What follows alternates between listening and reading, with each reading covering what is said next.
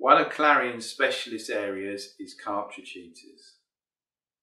Cartridge heaters are designed to heat a metal plate up to maximum temperatures of 750 degrees C. Cartridge heaters have many different applications, including in the printing, woodworking, pharmaceutical and plastics industry.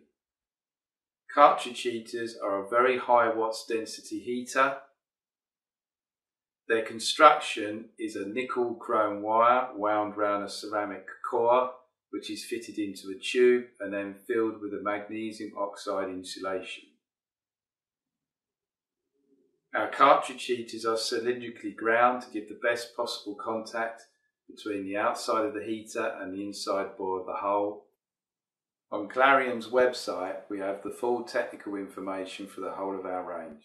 Call us on 01763 246 319.